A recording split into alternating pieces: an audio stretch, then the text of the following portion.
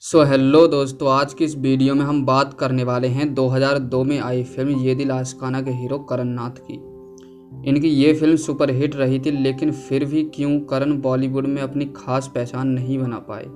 क्यों ये बन फ़िल्म बंडर एक्टर बनकर रह गए? तो चलिए दोस्तों शुरू करते हैं इनकी इस वीडियो को और जानते हैं कि आजकल ये कहाँ हैं और क्या कर रहे हैं।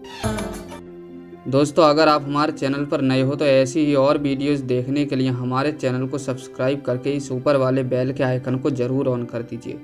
और साथ में लाइक, शेयर और कमेंट करना भी ना भूलें। तो दोस्तों करण नाथ की इस कहानी की शुरुआत होती है 24 मई उन्नीस सौ तिरासी को, जब मुंबई महाराष्ट्र, इंडिया में इनका राकेश नाथ और रीमा राकेश नाथ के यहाँ जन्म हुआ।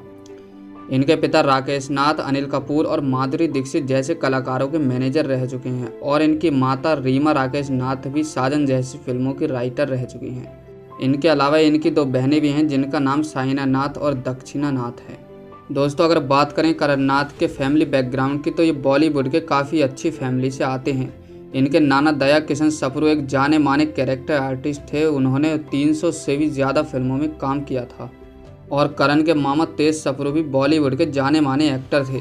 इनकी मौसी प्रीति सफरू भी बॉलीवुड की मशहूर कलाकार रह चुकी हैं। अगर बात करें करण के फिल्मी करियर की शुरुआत की तो आपको हम बता दें कि इन्होंने उन्नीस सौ सतासी में आई अनिल कपूर की फ़िल्म मिस्टर इंडिया से बॉलीवुड में as a child actor debut किया था।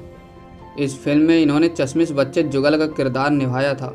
इसके बाद इन्होंने फ़िल्मों से ब्रेक ले लिया और फिर जब एक बार करण जिम में वर्कआउट कर रहे थे तो डायरेक्टर, राइटर जॉय ऑगस्टीन की नज़र इन पर पड़ी। दरअसल वो अपनी अपकमिंग मूवी के लिए एक ऐसे चेहरे की तलाश में थे, जिसके चेहरे पर चॉकलेटी बॉय वाले एक्सप्रेशन हो और बॉडी से सुडोल हो। फिर क्या था, जॉय ऑगस्टीन ने करण को अपनी आने वाली फ़िल्म पागलपन में as a lead actor sign कर लिया। और फिर सन 2001 में इन्होंने इस फ़िल्म से बॉलीवुड में बतौर लीड एक्टर डेब्यू किया। इस फ़िल्म में इनके साथ आरती अग्रवाल दिखी थी, लेकिन इनकी ये फ़िल्म बॉक्स ऑफ़िस पर खास कमाल नहीं दिखा पाई और फ्लॉप रही। इसके बाद इनकी सन 2002 में रोमांटिक थ्रिलर एक्शन मूवी ये दिल आशकाना आई। इसमें इनके साथ जीविदा शर्मा थी। इस फ़िल्म को फूल और कांटे जैसी फ़िल्म बना चुके डायरेक्टर कुक्कू कोहली ने बनाया था। इनकी ये फ़िल्म सुपरहिट रही और इस फ़िल्म के गानों को भी ऑडियंस ने खूब पसंद किया। इसके बाद इन्होंने 2003 में फ़िल्म की। ये एक हॉरर थ्रिलर फ़िल्म थी। इनकी ये फ़िल्म खास कमाल नहीं दिखाई और फ्लॉप रही। फिर ये 2003 में आई multi starrer film LOC Kargil में दिखे।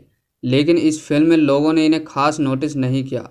इसके बाद 2004 में इनकी Tum a danger association movie आई। इस फ़िल्म में ये मनीषा कोयराला के साथ दिखे थे। लेकिन बदकिस्मती से इनकी ये फ़िल्म भी बॉक्स ऑफ़िस पर फ्लॉप रही। अब ऑडियंस ये दिल आशकाना के हीरो करन्नाथ को धीरे धीरे भुला चुकी थी। इसी के चलते इन्होंने पाँच साल का गैप लिया और 2009 में इन्होंने सुधीर मिश्रा की फ़िल्म तेरा क्या होगा जॉनी से बॉलीवुड में कम किया।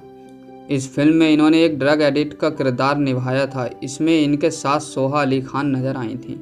इनकी ये फ़िल्म भी बॉक्स ऑफ़िस पर फ्लॉप रही, क्योंकि अब तक ये ऑडियंस के दिमाग से उतर चुके थे।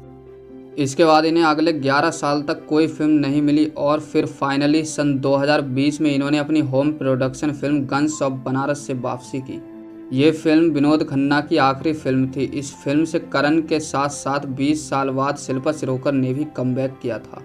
इनकी ये फ़िल्म सुपरहिट तो नहीं रही, लेकिन इन्हें इस फ़िल्म से लोगों ने अब दोबारा नोटिस किया। इस सब के अलावा ये 2021 में बिग बॉस ओटीटी के कंटेस्टेंट भी रह चुके हैं। ये यहाँ पर 15 दिन तक लगातार बने रहे थे।